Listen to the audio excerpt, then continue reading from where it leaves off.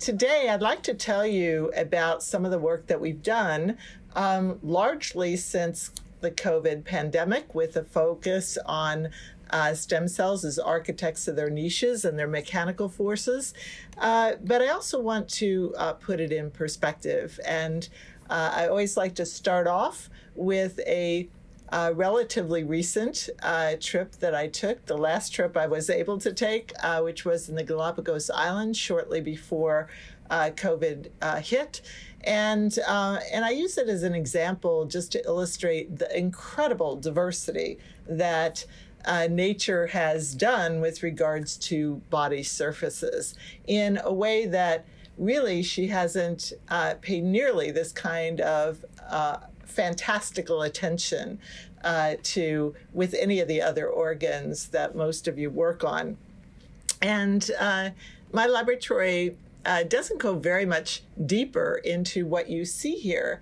Uh, we focus on the skin epithelium uh, at the outer surface of, of the skin. And when I was a graduate student, as Evan kind of alluded to, uh, I heard this talk by Howard Green uh, taking a piece of human skin and being able to culture it and isolate cells that he could passage endlessly and they could still make skin tissue.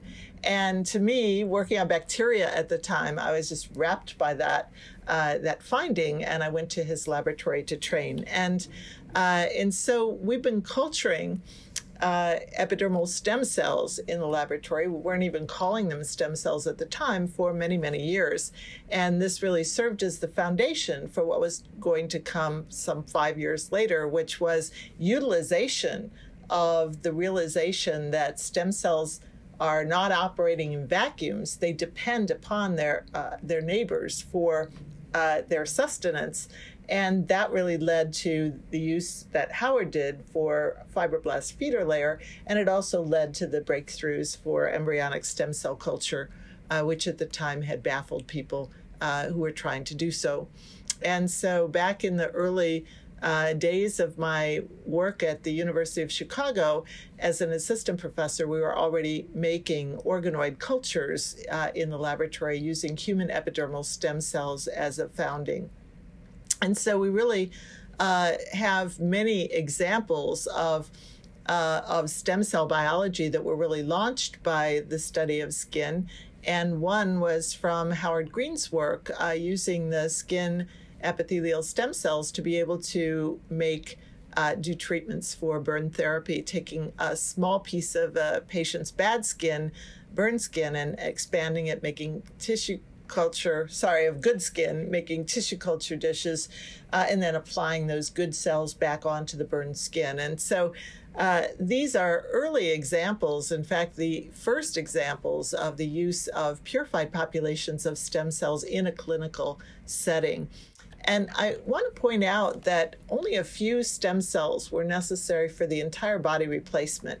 Uh, and some of these kids were burned. 95% of their body surface was burned, and yet they were still rescued with regards to their skin epidermis by virtue of uh, culturing uh, sheets of epidermal cells in this fashion and doing the engraftments. And so uh, that just illustrates the extraordinary capacity that stem cells have for regenerative medicine.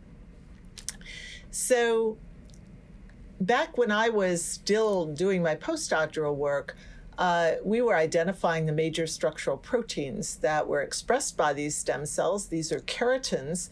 And, uh, and then when I started my laboratory, I began with cloning and characterizing the keratin cDNAs and their genes. And then after that, it was really working with these proteins that we were able for the first time to isolate and characterize and be able to identify mutations that were critical in terms of perturbing the overall keratin cytoskeleton. And uh, then we cycled uh, the mutant genes into mice to come down with the uh, identifying the genetic basis for these various different skin disorders and uh, demonstrating that these are blistering skin disorders. So, why am I telling you this after all of those years? I think it's important to consider that the uh, that the stem cells are at the body surface and they're subjected to various different stresses and uh, these stem cells have to be able to protect themselves and so one of the ways in which they do that is to make an elaborate cytoskeleton. And this really gave us the clues because the mute mutations in the keratin cytoskeleton caused the epidermal stem cells to rupture upon physical stress. And uh, this disorder, known as epidermolysis bullosa simplex, was the first of the blistering disorders that we and others went on to uh, work out the genetic basis for. And so uh, several things to consider. First of all, that the skin stem cells produce an extensive keratin cytoskeleton interconnected to desmosomes and hemidesmosomes that provide them with this inner mechanical framework to be able to withstand mechanical stress and adhere to the underlying basement membrane. But the stem cells cannot be made like bricks, they still have to divide. And in addition, there are other assaults that the skin surface has to face. And so, over the years, we've been studying some of these stresses. Uh, consider not only mechanical stress, but also pathogens, wounds, oncogenic stress, ultraviolet stress, uh, and various different microbes, and also consider temperatures and pH extremes. If you go outdoors, well, if you go outdoors in California and you come back indoors again, maybe your temperature is a little bit higher uh, than it normally is uh, with regards to um, most tissues. But for us, if you go outdoors in the wintertime, it comes you come back in and it is noticeably colder. And so uh, whereas the liver always stays at 98.6 degrees Fahrenheit, the skin epithelium really undergoes these extraordinary shifts in pH and temperature extremes. pH of your skin surface is 5.5. Very few, uh, including the epidermal stem cells, can survive under those kinds of conditions. And so, how are the stem cells then poised to be able to sense these changes and rapidly adjust? I want to start with a a publication that came out in March of 2020 during the COVID pandemic when it was at its height. And this is the work of Felipe Garcia Quiroz, who has now gone on to start his laboratory at uh, biomedical engineering at Georgia Tech.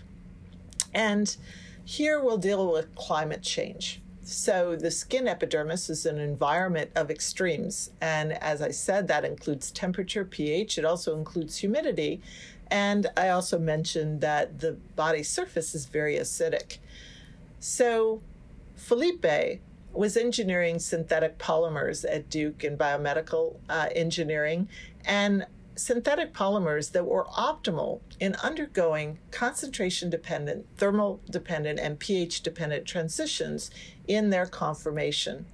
And then he scanned the human proteome for proteins that share these features and what he found were differentiation specific epidermal proteins at the top of that list. And that included the differentiation specific keratins that I had shown back when I was a postdoc are induced as epidermal stem cells commit to terminally differentiate and move outward toward the skin surface. They produce a different infrastructure that is much more resistant and incompatible with cell division. But here, uh, these proteins um, at their the the non non uh, the uh, head and tail domains of these proteins had these properties of undergoing these pH sensitive thermal uh, dependent switches in conformation. Another differentiation specific protein that had these kinds of properties was filaggrin and filaggrin paralogs. And these were proteins we've known about for a long time. They are produced again in the terminally differentiated cells, but in this case, these proteins accumulate in uh, what are known as keratohyalin granules. And people have always visualized these as kind of rocks inside the cells at the latter stages of terminal differentiation without a real understanding of what these things are doing and why they're doing it. And it turns out that proteins that have these kinds of dynamics for go- undergoing these types of conformational changes are proteins that um, uh, that are then the ones that are forming the um, skin barrier, and uh, and they are dynamic. These are also proteins that actually are characteristic of proteins that undergo these uh, abilities to um, produce oil like droplets or liquid liquid phase transitions inside cells. And that's another hot topic it's really a topic of protein conformation, and these are the kinds of proteins that are able to do so. So, for instance, if we just tag one of these filaggrin proteins and put it into a epidermal stem cell in culture, what we find is that these are not rocks inside these cells, that these are liquid fluid like granules, and you can see them fuse with one another, one of the characteristics. We can also apply atomic force microscopy to the stem cells, and we see these granules uh, squish in, uh, in response. We can also use fluorescence recovery after photobleaching to be able to see the dynamics of the materials. If we photo bleach an area and then look at how fast it recovers, it recovers within a matter of seconds. Very dynamic oil like droplets inside the cell. So, what are they really doing? Um, and to gain some insights into this, we made transgenic mice that express a fluorescent histone, H2B RFP.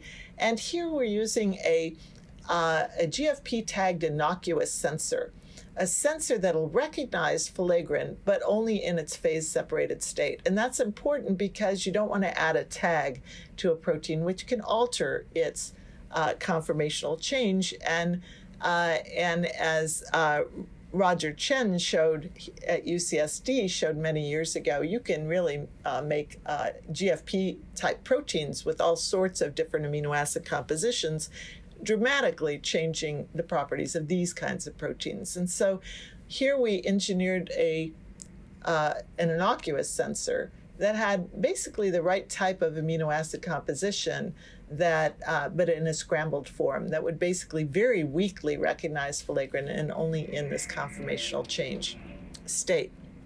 And so, how do we actually make do rapid genetics? We now uh, take advantage of the fact that uh, the living embryo, right after gastrulation, has just a single layer of skin cells, skin progenitor cells at, at, the body surface. And if we simply inject the amniotic sac with lentivirus, we can rapidly transduce the skin epithelium. Uh, and thereafter, it's propagated stably with anything we package into the lentivirus. And so, it, we showed a number of years ago if you package H2B RFP, within a matter of days, now the skin has stratified, the hair follicles have formed, and they're all transduced stably, but the uh, underlying dermis is not transduced. And that contains all sorts of different cell types. And so now we simply add the flagrant sensor and then um, make these mice. And now I'm going to show you what happens when we look at skin through the lens of phase separation. And to give you a perspective, the epidermis is a stratified epithelium. The outermost layer is the skin surface uh, that is at this pH 5.5. The stem cells are tucked down here. They're in the innermost basal layer. And as these cells commit to terminally differentiate and the cells move outward, uh, they go through these various different phases, transcriptionally active until the very end. And uh, it's only when uh, the cells reach this granular layer that you start to see these filaggrin rich granules start to accumulate. So, uh, using live imaging, then, we're going to be looking at the process. And what we learned from this, actually, from transcription, you see that filaggrin synthesis starts as soon as the stem cells commit to differentiate, but it must reach a critical conformation in order to undergo these liquid liquid phase transitions. They are concentration dependent. So now we'll take a look at a movie. I'm going to show you a movie showing you a planar view, a slice, a movie from a slice of the skin epithelium, if you will. Um, uh, and um, now you can see that the granules form and they grow, they grow bigger. They really pack the entire cytoplasm with uh, with these granules, and then all of a sudden you see the granules disappear. So that's the same cell. And if you watch it long enough, all of a sudden the granules disappear. And that is this transition that we've never understood from the granular layer to the skin surface. And that transition is absolutely essential for maintaining the barrier. So let's take a look at what's happening in the chromatin now. This is the same time frame. We're dealing with minutes in terms of the movie. And now you watch, the granules have grown. When the granules dissolve, what you see is chromatin compacts and then the chromatin, the nucleus, disappears. And so these two processes are happening with a matter, within a matter of minutes of each other. They must be linked. So, what's happening here? So, the process is dynamic. Granular formation is driven by critical concentration. The protein has to accumulate to a certain level before the switch occurs. But then, what's causing the granular dissolution and nuclear loss? And so, here we've begun to look at this question. And first of all, we looked at it from uh, taking into consideration that filaggrin is rich in histidine. That is a pKa of 6.3. As the epidermal stem cells are committing to differentiate, they're leaving an environment where there's 7.4 pH and they're going up to an environment of pH 5.5. And it turns out that as soon as the cells experience pH 6.3, that's when we see the granules dissolve. So, what is causing then this um, phenomenon of nuclear loss? Well, our thinking is that it could be that as these granules form, they could be sequestering all sorts of destructive enzymes that are released at that last stage where the granular cells then move into the stratum corneum la- layer and lose all their organelles and their nucleus and flatten out. But we also notice that there's mechanical deformation that is occurring uh, as the keratohyalin granules, as filaggrin uh, concentration continues to rise. The granules get larger and larger. They also get more viscous, as we demonstrated in uh, the pap- in the science paper that we published. And in addition, those keratin filaments have these protruding ends that also have these non-structured uh, uh, repeats and they too then undergo these conformational changes. So the whole network at the end is basically this dense keratin network that is integrating these keratohyalin granules that are becoming increasingly viscous. And what that does is it turns out it puts mechanical pressure on the nuclei, and we think that that mechanical pressure then is also contributing to the sudden loss of the granules and the organelles in the cells. So why is why am I telling you this and why is it relevant besides the fact that we published this during the COVID pandemic? It's relevant because there is a very common skin disorder known as atopic dermatitis that ha- is associated with patients that have skin barrier defects.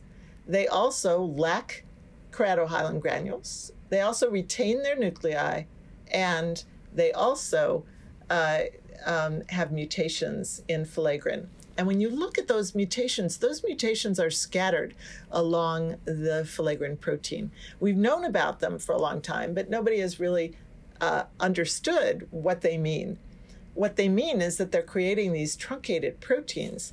And when we looked at engineering those truncated proteins and started to look at them through the lens of phase separation, we discovered that in fact, when you truncate the protein too much and have fewer and fewer repeats, you can never accumulate a nanomolar or picomolar or femtomolar concentration that is high enough within, within the cell in order for these liquid phase transitions to occur. So they don't occur and you never see the granules forming.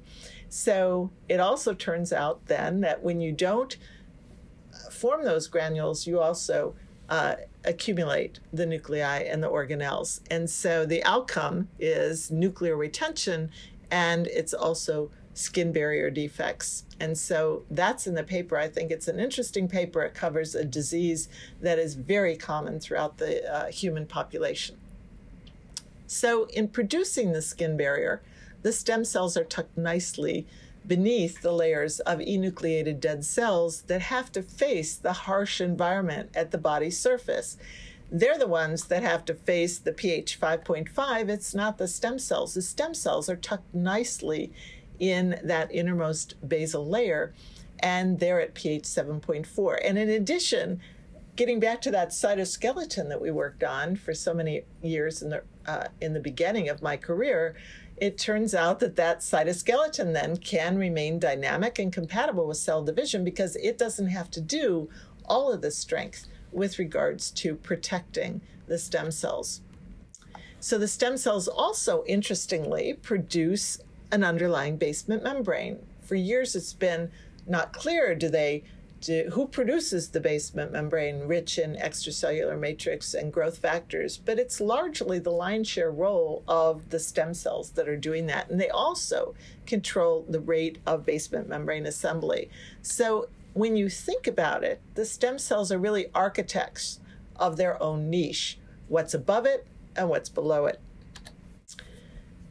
So now I'm going to move into several months later into the COVID pandemic, where we recently published uh, a paper that deals with the focus of this talk today, and that is, uh, and that is the realization that stem cells also create the mechanical forces that are impacting their behavior.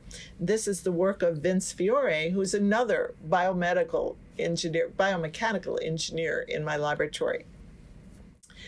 So, here what we did is we just started out by looking at normal skin epidermis, and Vince uh, used atomic force microscopy to measure the stiffness of the stem cells, of the basement membrane, of the of the differentiated cells. And when you look at this and of the dermis, and when you look at the stiffness, what you find is that it's those outer layers that I've been talking about that have the stiffest characteristics of the tissue.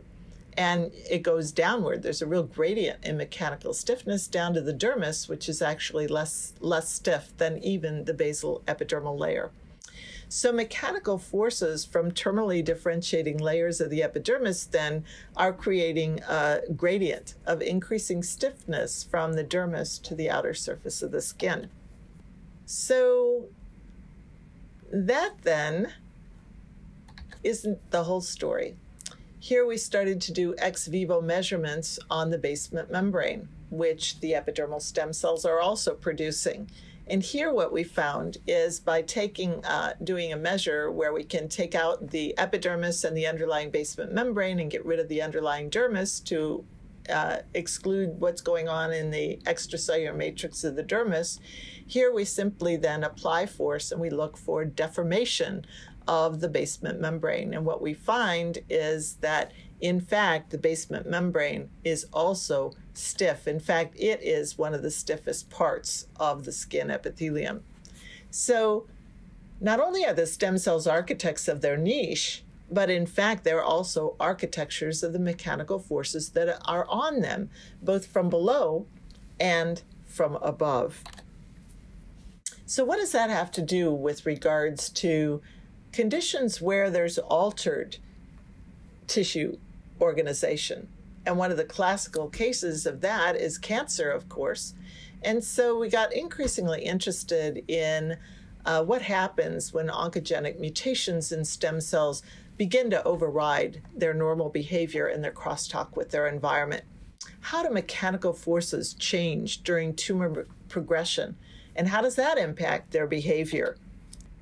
Well, if you look at what goes on in a monolayered epithelium, uh, Axel Behrens and his group looked at uh, at normal epithelium and tumorigenic epithelium from the pancreas and showed that cell proliferation and actomyosin contractility dominate the architectures of the tumors from monolayered epithelia. What about tumors from multilayered epithelia?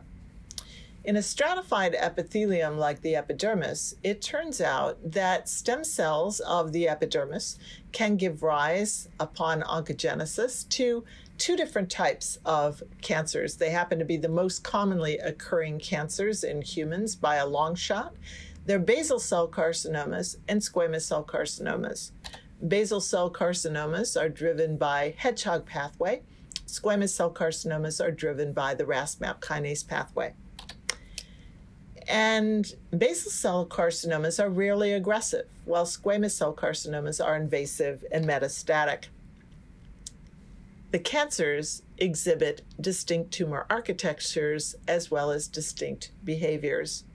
Here, cell proliferation and actomyosin dynamics impact the formation of these two types of tumors, but it turns out that those parameters on their own do not explain these types of shape differences and types of properties that we see in these two types of cancers.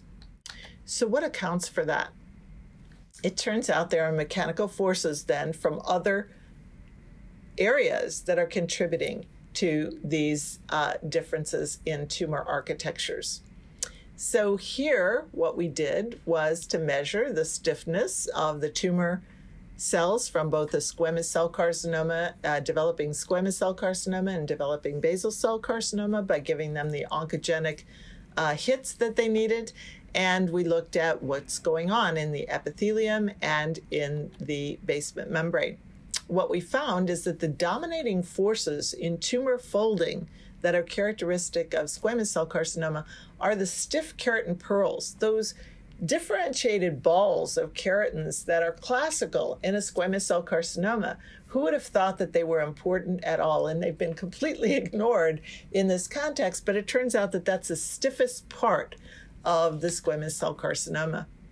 They're also typified by moderate basement membrane stiffening, a little bit less than what you see in the normal skin epithelium, but still appreciable. it turns out that they have very low basement synthesis assembly rates, which we measured by looking at fluorescent uh, laminin chain incorporation into the basement membrane. So that's extremely low. Then we looked at basal cell carcinoma tumor budding. That turns out to be promoted by a softening of the basement membrane. Look at how soft the basement membrane is at the at the down point of the invaginations relative to that of the normal or the squamous cell carcinoma. And when you look at basement membrane assembly rates, it goes the opposite direction. basement membrane assembly is really fast in basal cell carcinomas. So at that point, we really wanted to team up with uh, Stas Schwarzman's group at Princeton. And uh, between, in a ping pong play, really between uh, looking at computer simulations and looking at genetic uh, testing of the models. We went back and forth until we arrived at these conclusions. But when we did arrive at these conclusions, what we were left with is computer simulations that explained uh, the overall tumor architectures that we were seeing, characteristic of squamous cell carcinomas and characteristic of basal cell carcinomas. So the differences in basement membrane assembly rates were also reflected by extracellular matrix gene expression uh, in the basal cells of the BCC, where uh, the expression rates of the basement membrane con- constituents is very high. We also see that uh, in very high at the transcriptional level. Uh, in contrast to uh, HRAS, which is relatively low in uh, wild type skin and in squamous cell carcinoma. And the basement membrane is the major physical barrier between the tissue compartments, between the epidermis and the underlying dermis. Um, it's composed of uh, type 4 collagen and uh, largely self assembling laminins. And type 4 collagen is the major tensile strength bearing network component, whereas laminin initiates de novo uh, assembly rates. And so, uh, again, taking advantage of our genetic system that we have for rapid knockdowns and testing, uh, we could really look at manipulating the basement membrane or manipulating using degrons uh, manipulating those keratin pearls to really look at what are the consequences um, of these different types of pressure. So, when we start to look at different types of mechanical forces, uh, cancers have long been known to have differences in mechanical forces, and cancer cells are long known to take the uh, to aim for the path of least resistance. They will go wherever they can either change the forces or wherever the forces are the weakest. And so we've known that solid stress uh, occurs in squamous cell carcinomas, just proliferation. You're proliferating the tumor cells, and you create more and more cells within a, a confine of the uh, surrounding stroma. And um, if you invade the surrounding stroma, that's going to rel- relieve um, uh, relieve the, the the solid stress. Um, but solid stress also compacts the vasculature, and that leads to leaky blood vessels and lymphedema. Uh, blood vessels bringing nutrients in, lymphatic vessels bringing uh, other things out.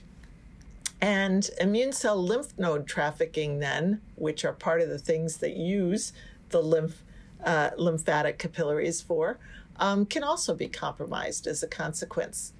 We've known about extracellular matrix, the, the bulk uh, collagen type 1 matrix that exists within the uh, stroma. Uh, we've known that cross linking enzymes can play a role in that. And we know, of course, that actomyosin contraction can play a role in that. It can increase extracellular matrix stiffness. It can lead to activation of latent TGF beta signaling, uh, giving rise to cancer activated fibroblasts and increased ECM. So, what about then considering the tumor? Well, forces in the squamous cell carcinoma, as I mentioned, are high. Those keratin pearls that form can impart 60 kilopascals to, uh, to the tumor. And, and in contrast, jamming, which has been described in many different contexts, only contributes about 1 to 10 kilopascals. So the uh, keratin pearls are definitely important in terms of a source of mechanical force.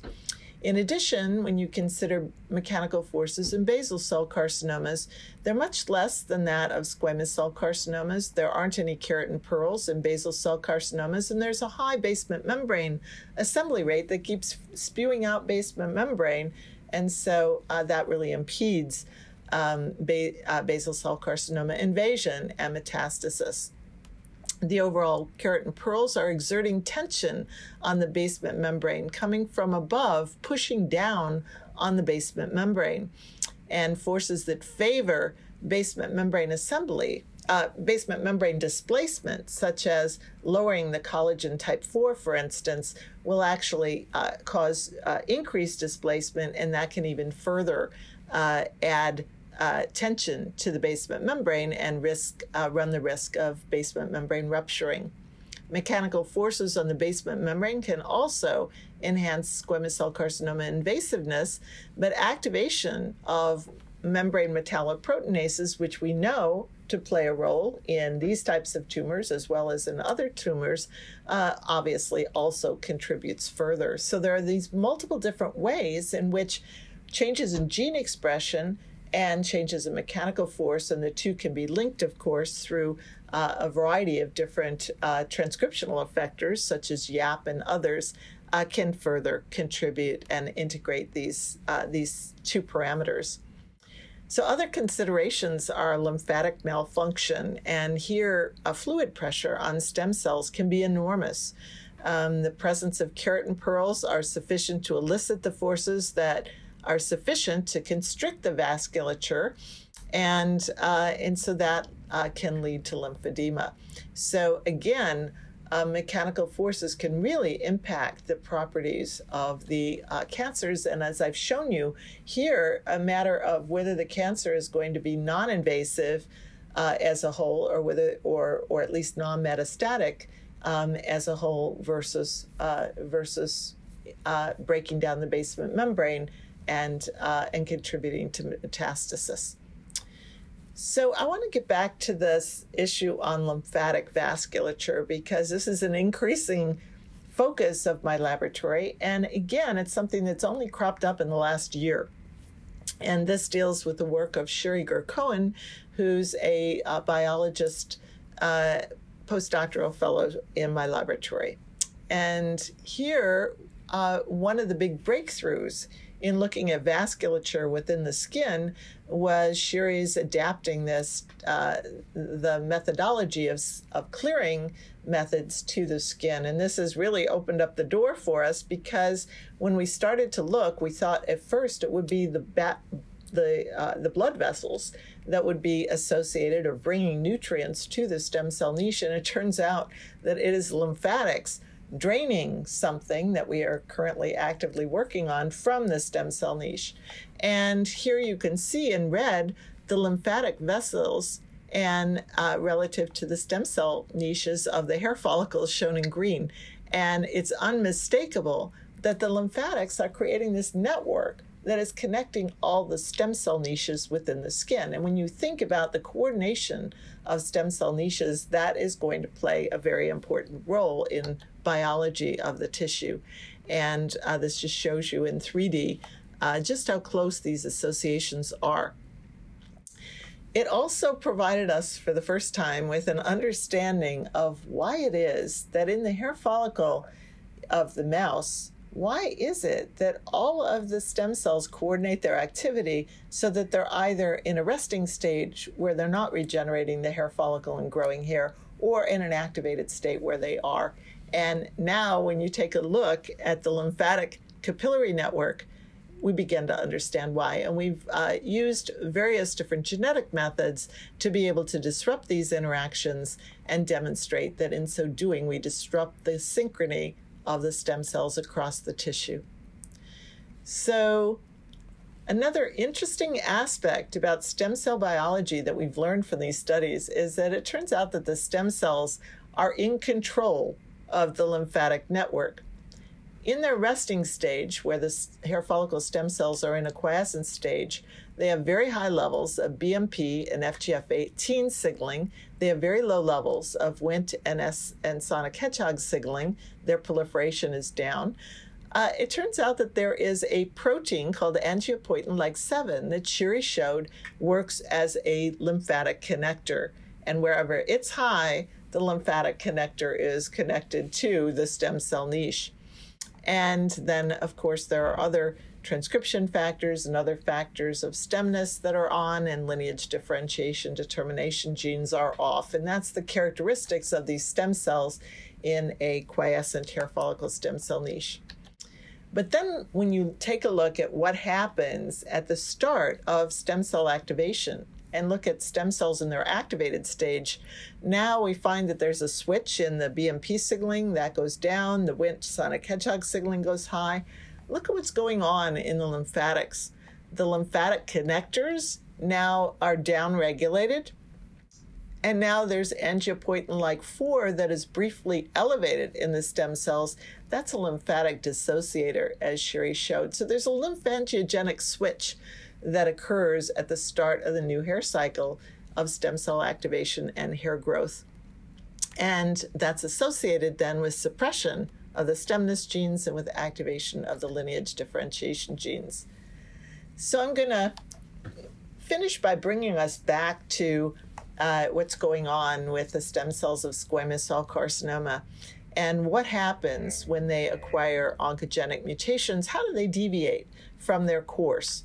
And how do we get to the state of squamous cell carcinomas. And if we consider squamous cell carcinomas as a class, they affect not only skin cancer, but also head and neck cancers, vaginal cervical cancers, esophageal cancers, cancers of anogenital tract, and all of these other tissues as well as the skin. And while you typically don't think of skin squamous cell carcinomas as being particularly bad for you. you. They can usually be excised if caught early. Patients on immunosuppressive drugs have a very high risk of metastatic skin squamous cell carcinomas. So, even for skin, this is a devastating uh, type of human cancer. And we studied many years ago where the stem cells are in these cancers. We fractionated the stem cells from squamous cell carcinomas, performed serial transplantation studies, and they reside at the tumor stroma interface. Uh, so, very much like normal stem cells do. Uh, in their normal epithelial tissues, so too do the cancer stem cells. But they really don't look anything like the, the normal stem cell counterparts. They've got many, many different changes in gene expression. And so, what happens on the path to cancer that leads to this dramatic shift in gene expression, which, as I talked about earlier, really impact uh, properties of the of the tumor, like uh, like mechanical forces? And uh, Yejing Ge, who was a postdoctoral fellow in my laboratory and is now running her lab at MD Cancer MD Anderson Cancer Center, uh, looked at this um, from the perspective of the relationship between normal stem cells and cancer. And what she showed was that there's actually very similar patterns to what's going on at the chromatin level to that of, uh, of wound healing processes. And in fact, in the early stages of wounds, uh, what we see is that the stem cells, both of the epidermal stem cells and the hair follicle, they start to deviate and they turn on wound specific uh, transcription factors that turn on wound specific chromatin peaks. And when we looked at squamous cell carcinomas, what we found is that there are parallel peaks to wound response and now new peaks. And both the wound peaks and the new peaks have uh, have ETS2 binding sites, with ETS2 being the predominant one in these new peaks. And so we know that RAS MAP kinase is transiently upregulated in a wound, then downregulated again, whereas in cancer, squamous cell carcinoma, it's constitutively active. And that causes these peaks to open. And we can demonstrate that by virtue of first cutting out one of those peaks and showing that those peaks can act as squamous cell carcinoma inducing enhancers where they're not expressed in unwounded or wounded state, but only in the tumorigenic state. And we can also engineer a phosphomutation, activated mutation in ETS2. And when we induce that in the skin, what we find is dramatic transition of the uh, of the epithelium to a tumor like state, and we see a dramatic shift of the chromatin structure to adopt that of squamous cell carcinoma. So we can drill down in both directions with ideally gaining further and further insights into how stem cells are basically controlling the process and how these stem cells go awry during malignancy. I want to leave some time for Q&A, but I just want to touch on two other factors. One is to recapitulate uh, some of the uh, findings that we made in uh, in 2015 and 2019 uh, last year when we were looking at um, characteristics of these tumor initiating stem cells. As I mentioned, we showed they were at the tumor stroma interface and uh, what we realized is that there's tumor heterogeneity that uh, occurs in the microenvironment. Um, and it's due, uh, in part at least, to blood vessels. Wherever there's angiogenesis and a blood vessel comes up next to a tumor, it brings with it a milieu of various immune cells, and together uh, they produce and secrete high levels of active TGF beta. And that then impacts these stem cells in the close microenvironment, and that ultimately changes the behavior of these stem cells. And uh, and another um, aspect of that is is that it changes them in a way that affects not only their properties and their tumor generating properties, but it also affects their invasiveness. And so uh, the way in which we demonstrated that was to create a TGF beta sensor enhancer that uh, drove uh, fluorescent cherry and also drove um, a uh, Cree-ER, a lineage tracer, that we could activate whenever we wanted with tamoxifen. And so in, uh, in the tumor, wherever there's TGF beta uh, from a blood vessel, which would be right here, which we can now show by our tissue clearing methods. Now uh, we see a light up of the tumor stem cells, and where there's no TGF beta, where there's no blood vessel, there's no single signaling. And when we monitored the behavior of these of these cells by activating our lineage tracer, what we found is that these cells, when they receive a TGF beta signal, are slower cycling than their non TGF beta responsive uh, counterparts. But um, these stem cells also break down the basement membrane and invade relative to their uh, not relative to their non TGF beta signaling counterparts. So TGF beta really is acting as a tumor suppre- suppressor and a tumor promoter, and in this context, a tumor promoter.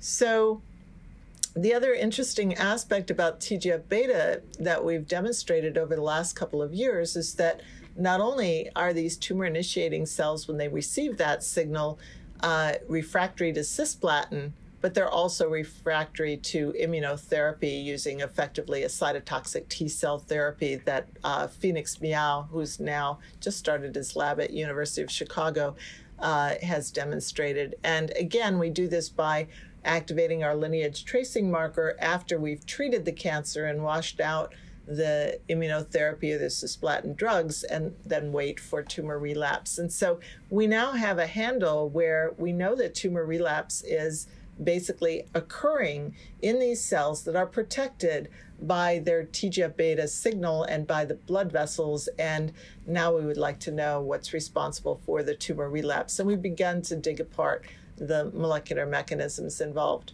And finally, another aspect that we've been interested in is what are those blood vessels bringing to the cancer? And uh, are they merely bringing a TGF beta rich immune cell microenvironment, or are they having an impact on tumor cell survival? And in uh, the last paper that we just published um, in during the COVID uh, pandemic, uh, we demonstrated that tumor stem cells have an altered metabolic diet over their normal tissue counterparts, and that's the work of Sanji Baksh uh, who just defended his PhD and is now finishing his MD uh, in my laboratory, not in my laboratory, but in the clinics uh, at Weill, Cornell.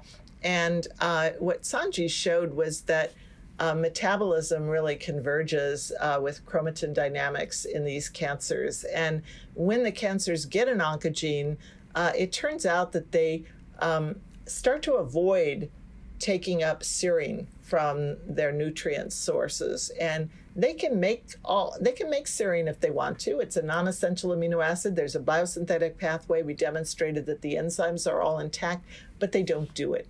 And so why do they try to avoid um, making serine? And it turns out that if they do uh, then in that pathway of serine biosynthesis is the production of alpha ketoglutarate. And the alpha ketoglutarate levels go high in these cells if we force them to make their own serine and we take away serine from their diet or from their media.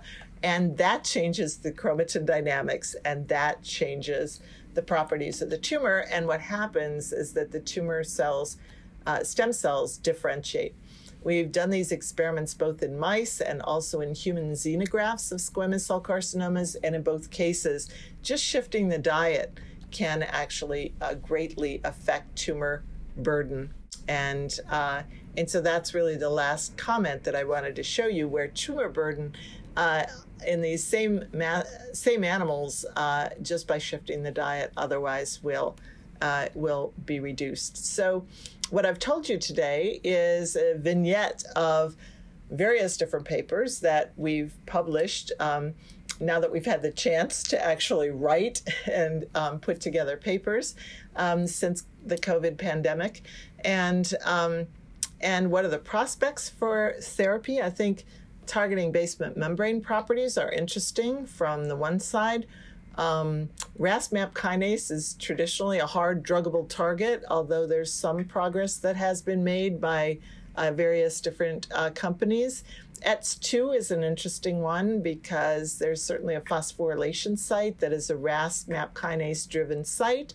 So uh, there might be avenues. We've demonstrated that it is uh, one of the aspects of driving tumorigenesis and driving the chromatin architecture.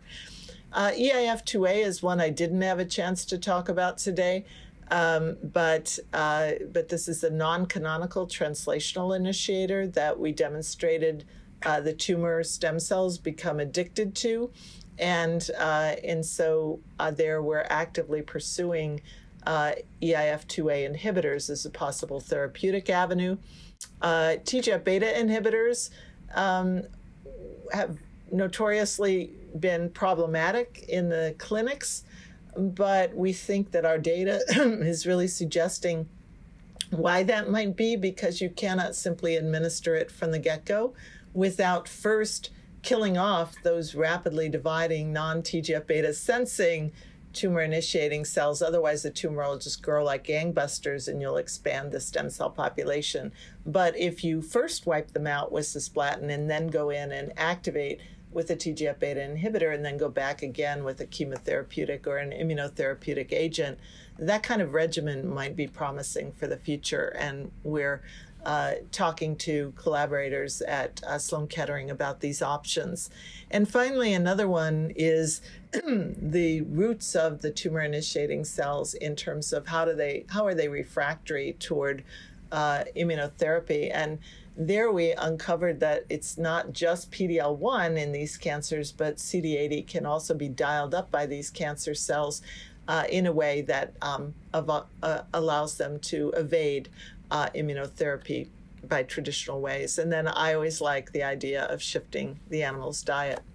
So often when you're not when you're looking for something, you can't find it. And it's often when you're not quite looking for it that some of the most interesting observations come up uh, that, if you explore, uh, can turn out to be very interesting.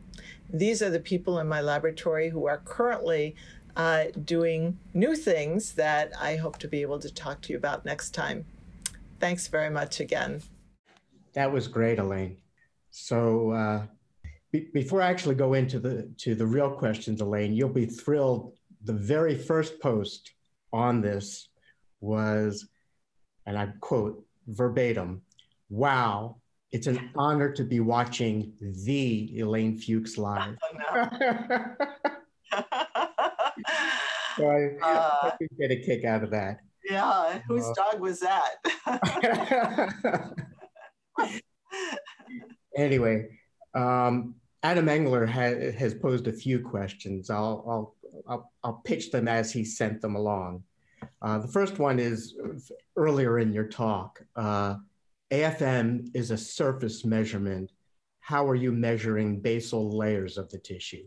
Yeah, I like the comment and the question. It's um, so two different ways. One is for the basement membrane. That was uh, that was really looking for deformation of the uh, applying force from above, but only from the epidermis that is associated with the basement membrane. So we can, using enzymes, we can basically um, peel apart and get rid of the underlying dermis and then just look at measuring deformation of the basement membrane. So that's what that measurement is in terms of getting uh, a sense of tumor stiffness. And we can manipulate that stiffness um, and demonstrated that if we downregulate collagen type 4, then the deformation is greater. If we increase uh, or stop basement membranes uh, uh, assembly rates, for instance, um, then we can also see an increase in the stiffness. So you can control uh, stiffness by these two different parameters. And that also bears itself out from the computer simulations that uh, the Schwarzman lab has done uh, for us. So the other aspect of that is for the tissue itself. Uh, there we had to do a um, flash freeze um, of the tissue. And so there's always that caveat that can be associated with the stiffness. Um, on the other hand, it is in agreement with not only what we know about the properties now from the other paper from looking at uh, at uh, the role of filaggrin, where we actually also in that paper use atomic force microscopy to look at when we manipulate what happens to the stiffness of the overlying epidermal cells. Um, but here we're, we're looking at a side probe. We're probing along the side um, of the tissue that we isolate from the mouse, which is really the only way we could come up with getting those numbers. So granted, there are these potential caveats, but, uh, but that was one of the major forces in our realizing that we really needed a collaborator to go back and forth with regards to genetic manipulations on our part and computer simulations on their part with our measurements in hand saying, if these are the measurements, does this explain it? Great.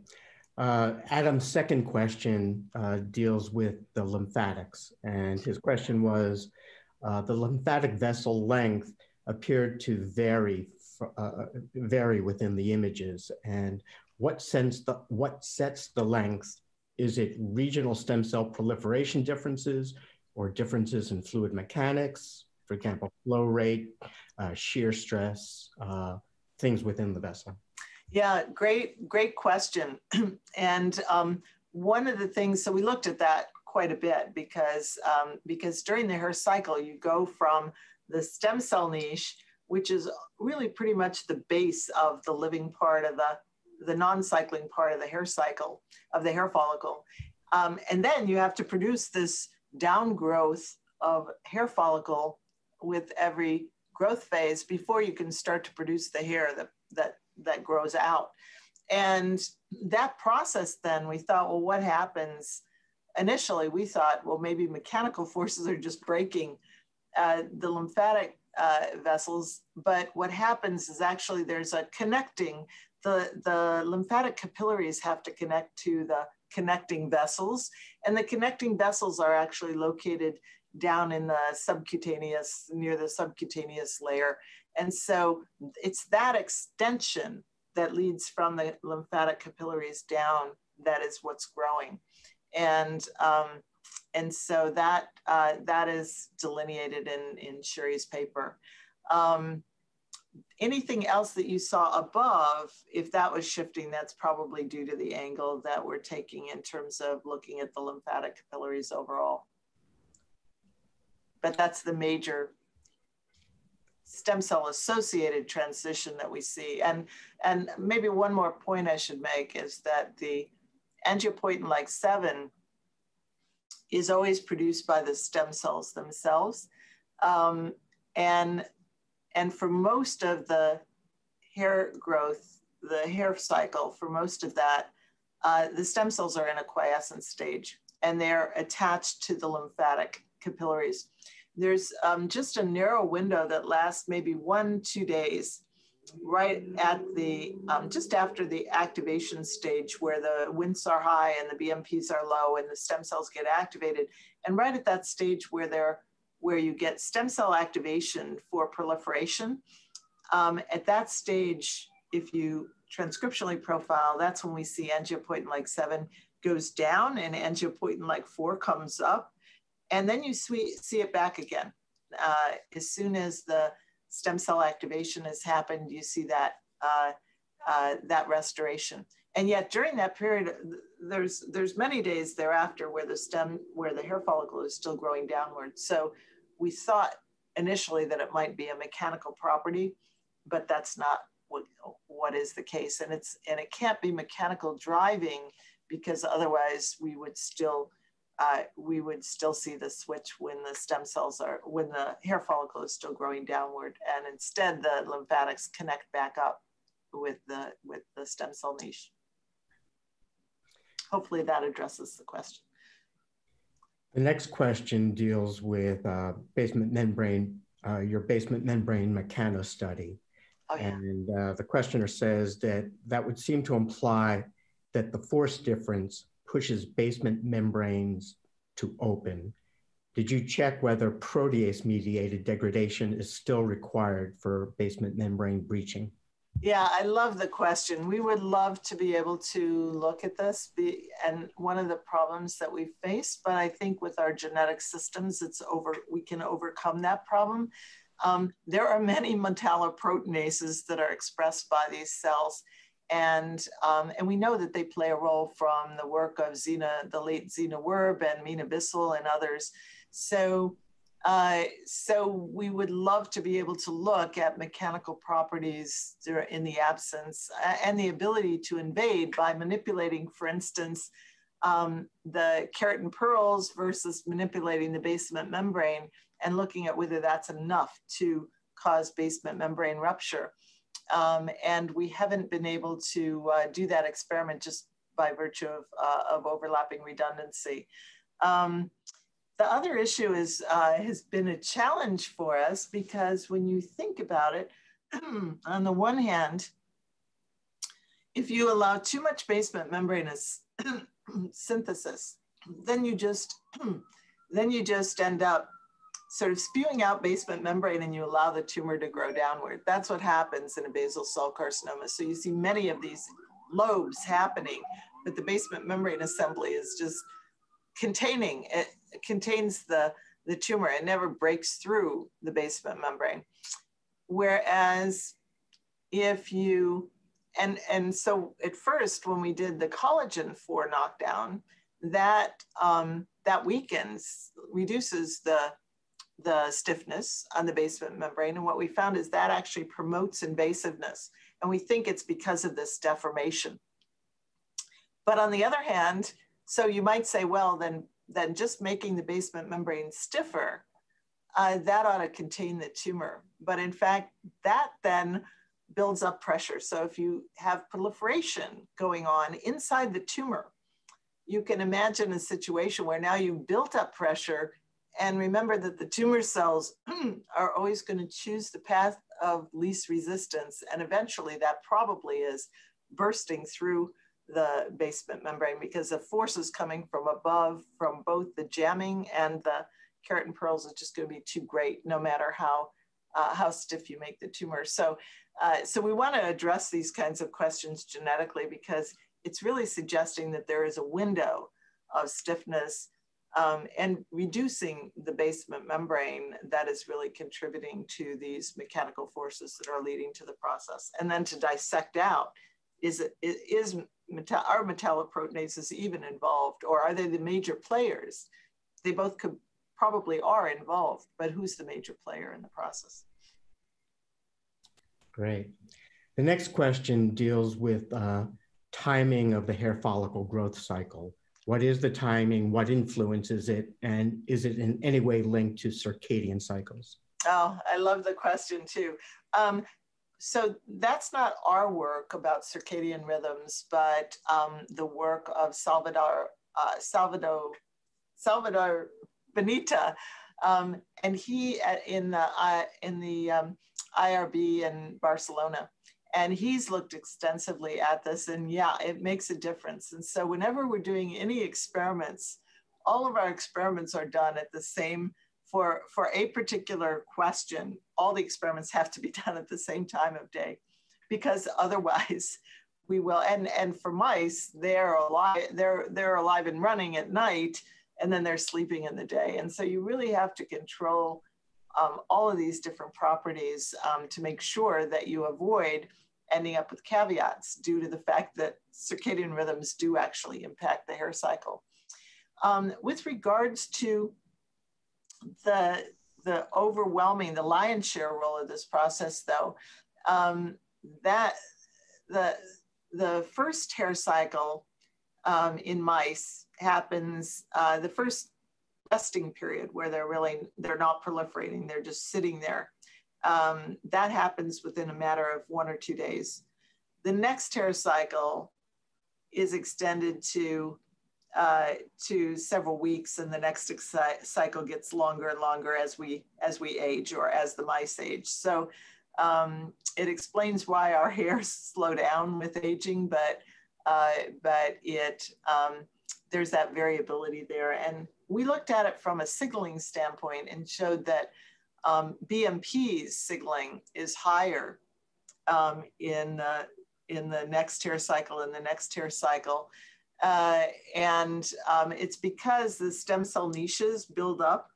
Um, you end up with sort of one stem cell niche for the first hair cycle, then you build some more for the next hair cycle and more for the next hair cycle, and then they all then eventually they all sort of fuse into one master stem cell niche. And so you always have more niches with each hair cycle. So you're always going to have this higher level of BMP. We haven't looked at lymphatics yet in those cases, and I think that will be interesting for us to do. But the other big question is we know that lymphatic connections are associated with, uh, with quiescence and what we've shown is if we elevate the levels of angiopoietin like 7 genetically, we can increase the resting time. And so the question is, And if we shorten it or we elevate the levels of angiopoietin like 4, we can reduce the resting time. So, uh, so the question is, what, are, what is it about those lymphatics connected to the stem cell niche that maintains the quiescence? They could be draining something. Maybe they're draining key nutrients. Maybe they're draining key immune cells uh, that are important in stem cell activation. Um, maybe they are draining um, uh, metabolites. Maybe they're draining, maybe they're bringing, maybe the lymphatics themselves are bringing different growth factors or bringing different growth factor inhibitors, sorry. Um, or maybe they're draining growth factor, other growth factor inhibitors. So there's lots of possibilities and, um, and we're actively tackling that problem, but as you might imagine, and it could be the pressure itself, as you pointed out, that is controlling that. And, um, and in fact, we have some evidence for that. We showed that if we can increase the pressure just by injecting fluid into the skin, we can trigger precociously the hair cycle. So it could just be pressure um, that has to that has to be maintained at a certain level, and then um, and then builds up after you um, activate this after you detach and now fluid starts to build up and then you and then you basically activate and then it goes back to normal. But lots of possibilities and um, and we're systematically checking off what we think uh, is important but it's probably going to take us a while. Maybe next time that i give a talk here. Uh, jeff Wahl poses two questions. First he he, he says you have gave a great talk. Thanks jeff and then he, his first question is about uh, filaggrin, and he was wondering whether its reg- whether its regulation is affected by his kinases or phosphatases. Mm. And then the second question, uh, he queried whether uh, a normal microenvironment can prevent the growth of epidermal cells that could be harboring many oncogenic mutations. Yeah, great questions, both of them. First of all, phosphorylation probably plays a role. Filaggrin does get phosphorylated, it also gets processed. Um, and it could be both filaggrin processing and it could be filaggrin phosphorylation that is impacting on uh, the overall acidity of the pro of the of, of filaggrin and is causing and, and, interferes or in one way or another or promotes in one way or the other the dynamics that we're seeing in these liquid phase transitions. We have not checked that yet.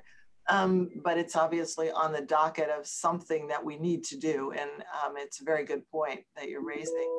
Um, the second is is can we restore the normal microenvironment and actually get back um, get back normal tumor behavior. Uh, we are actively investigating that, but again, um, how to restore normal microenvironment is something that's going to be a challenge. Um, we could, of course, just do the uh, start by doing the tumor initiating stem cells and putting them back into their normal stem cell niche. I don't think that's going to work. Um, just by virtue of the fact that we know that there's high levels of RAS signaling, and, and if we elevate the level of RAS in this in the normal stem cells, we see um, promotion to tumorigenesis. On the other hand, um, in cancer, all that matters is sort of a, a balance. You know, everything is going to be a balance, and we know that um, that the that the cancer stem cells are deviating uh, by virtue of high level of RAS. And so I think by uh, various different avenues to diminish the levels of, of RAS MAP kinase signaling in the tumor, various levels to diminish the, um, the TGF beta signaling at the right time. And then um, uh, we've demonstrated, for instance, if we knock out CD80 in the tumor initiating stem cells, then tumor growth just plummets. So, um, so there are various different ways to manipulate. Um, what we haven't tried is taking any of those manipulations that reduce tumor growth and seeing whether if we put them into a normal environment, um, will they work? And I think that uh, certainly they might work in many of these cases, like CD80, for instance, which isn't which isn't even expressed by the normal stem cells. So knocking it down should be fine for homeostasis. The problem is going to be in a wound response. And we're testing things like that to see can we tease apart in the ideal world uh, factors that are not involved in wound repair but are involved in tumorigenesis. And that's that's kind of thing that we're that we're focusing on now in the lab. But to date, we don't have a we don't have some clear, exciting answers that would satisfy George, Jeff Wahl. Well, you may have alluded that he qualified the question, and he wanted, to, but you may have already sort of addressed this. How does the normal microenvironment prevent the growth of cells oh. harboring tumor-initiating mutations? Oh yeah, yeah. I mean that's a great question too. We're looking we're we're looking at that from the perspective of cellular competition. Um, we um, identified multiple mechanisms of cellular competition in normal tissue. Um, and we're looking at how those competition mechanisms are being affected by, uh, by RAS and when is the point of no return. Um, is, is one oncogene, um, is one oncogenic mutation enough to uh, to maintain normalcy? And if so, how? And then what happens when you start to build up oncogenic mutations? I mean, it's a great question and uh, and um, one that really hasn't been addressed in the field. So uh, there are a lot of different ways to approach it, and we're we're taking that one approach. But I think it's a, a great question. Okay, I think we'll probably make this our last question, and uh, the questioner wanted to know uh, what is the status of using stem cells for burn victims? Ah, Great question. Um, so fast forward through all of these years, um, two different things. Um, for burn victims itself, themselves, it turns out that it is more effective to take um, pieces, to take a piece of skin and just fragment it into thousands of little pieces and actually seed little implants of little pieces of skin on the surface. Um, the advantage there is that it contain that contains the stem cells and their niches. Mm-hmm. And the other advantage is, is that it also contains the hair follicle stem cells and the sweat gland stem cells. And one of the overwhelming problems that people have fa been facing in burn therapy, and they're still not there yet, is that um, from the cultured epidermal stem cells, we've known for years that patients that get those grafts do not sweat, nor do they make hair. Mm. Uh, hair making hair they, they can do without, uh, but sweating they can't. That's a real problem. And so, um, so we've identified the sweat gland stem cells in um, in mice, in, in all animals except human and higher primates, they only have sweat glands on their paws, so that limits how quickly you can do the experiments.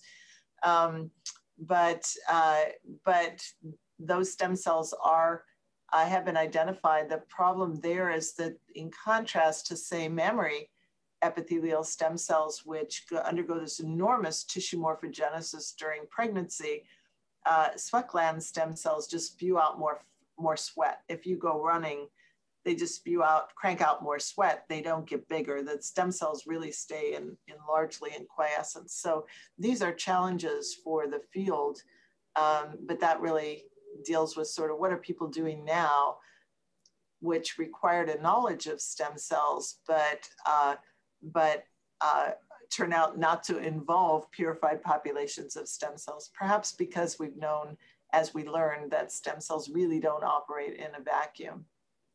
Well, I, I want to thank you so much, Elaine, for uh, taking the time to fly into San Diego. yeah, right. And to, to give us a talk. And thank you all for your attention and see you next month. Happy holidays. Bye bye. Thanks very much, Evan. Bye bye.